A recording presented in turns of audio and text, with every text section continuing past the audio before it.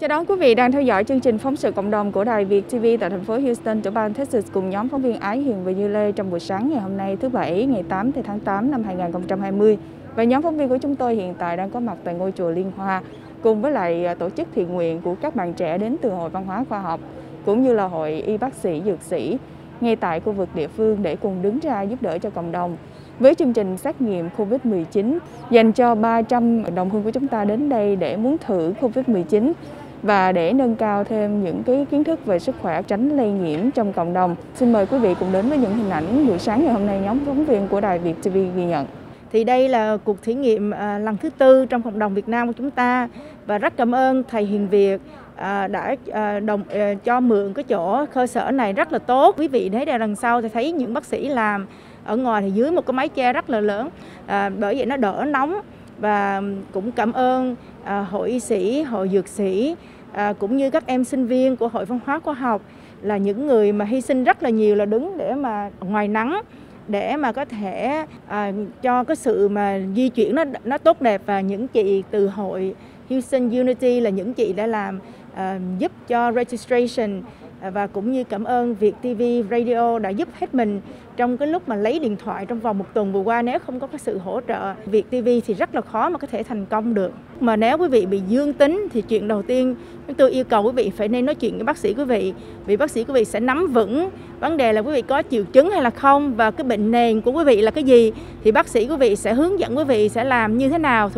để mà chữa trị và người ta sẽ theo dõi bằng telemedicine, có nghĩa là gọi điện thoại mà coi FaceTime vì thế Yên cũng biết là không phải ai bị à, dương tính cũng phải vào nhà thương mà chỉ có một số người khoảng 20% ờ, thường những người mà bị con virus đã nhiễm vô trong phổi thì người ta mới khó thở thì cần dưỡng khí. À, thì những người đó phải cần vô nhà thương. À, văn phòng chúng tôi chỉ báo tin quý vị là âm tính hay dương tính. Còn nếu vì dương tính thì quý vị phải nói chuyện với bác sĩ trực tiếp của bác sĩ của các bạn. Hai cái cách để mà chữa trị đó là convalescent plasma là huyết tương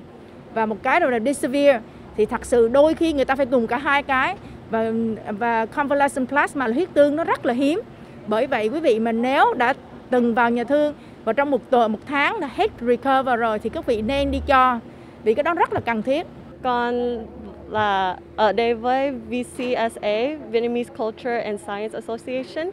hôm nay I am the traffic Volunteer Coordinator. Ngày hôm nay Cecilia Nguyễn cùng với lại khoảng 35 thiện nguyện viên các em trẻ đã có mặt ở đây từ rất là sớm. Các em từ trong những cái độ tuổi mà trung học hoặc là cao đẳng và ngay cả những em nào đã ra trường này cũng uh, quay trở lại để mà giúp trong cái chương trình ngày hôm nay và Cecilia Nguyễn đại diện cho Hội Văn hóa Khoa học với những sự sắp xếp của các em buổi sáng thì làm cho cái traffic, cái sự giao thông ở đây nó tốt hơn để mà hỗ trợ tốt nhất cho những người đến đây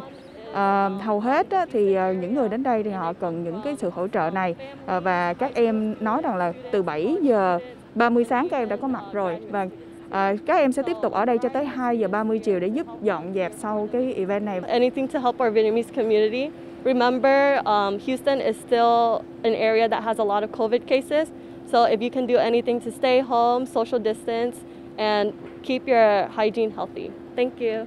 à, thì tụi tôi có, có mặt đây lúc 8 giờ rưỡi để mà chuẩn bị. À, rồi 9 giờ là bắt đầu swab cho bệnh nhân. À, thì cái đồ này mặc là để mà một là protect uh, uh, chúng tôi với lại protect những người bệnh nhân để mà không có lây truyền nhiễm. Mặc bộ đồ này thì nó hơi khó chịu nhưng mà để mà safety cho mọi người thì tụi tôi mặc. Dạ. thì mỗi người bệnh nhân thì họ sẽ có một cái swab kit riêng. Thì ờ, mỗi người bệnh nhân tụi tôi sẽ thay găng tay mới swab người bệnh nhân đó bỏ vô trong bịch riêng bỏ vô trong cái thùng để mà gửi đi test sau đó thì tôi sẽ thay đổi găng tay clean up với lại alcohol bỏ găng tay mới thì quý vị không có sợ phải là lây nhiễm từ bệnh nhân này qua bệnh nhân khác Cảm ơn những đóng góp trân quý của tập thể các y bác sĩ ờ, của cộng đồng người Mỹ gốc Việt ngay tại địa phương đã cùng hỗ trợ giúp đỡ cho à, những quý vị đồng hương đến đây để thử trong buổi sáng ngày hôm nay. Và một lần nữa Ái Hiền và Như Lê, nhóm phóng viên của Đài Việt TV cảm ơn quý vị đã dành thời gian theo dõi. Chúng tôi xin chào và hẹn gặp lại quý vị trong chương trình lần sau. Mến chúc cho quý vị có nhiều sức khỏe, một ngày may mắn và đầy năng lượng. Xin chào tạm biệt.